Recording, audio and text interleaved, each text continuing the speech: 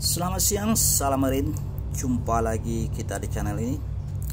Saat ini kita sedang berada di perairan Balikpapan dalam rangka melakukan kegiatan sea trial kapal tanker ukuran 4748 KL.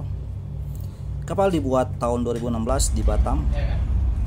Bendera kapal Indonesia GT 3678 NT 2469 DWT 4999 maksimum draft 5,9 meter deep 8 meter loa 89,9 meter speed service 10 sampai 12 knot per mil main engine Yamar 12 IM WST 1400 HP 1900 rpm kali 2